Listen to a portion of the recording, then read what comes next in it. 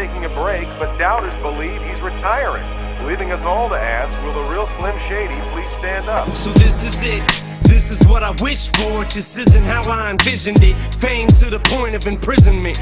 I just thought the shit'd be different, but something changed the minute that I got whiff of it. I started to inhale it, smell it, started sniffing it, and it became my cocaine. I just couldn't quit, I just wanted a little bit. Then it turned me to a monster. I became a hypocrite, concert after concert.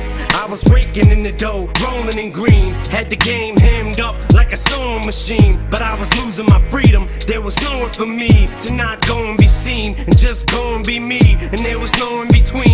Either loved it or hated. Every CD, critics gave it a three. Then three years later, they go back and re-rate it and call the Slim Shady LP the greatest. The Marshall Mathers was a classic. The Eminem show was fantastic, but Encore just didn't have the caliber to match it. I guess enough time just ain't passed yet. A couple more years, that shit'll be illmatic. And eight years later, I'm still at it. Divorced, remarried, a felon, a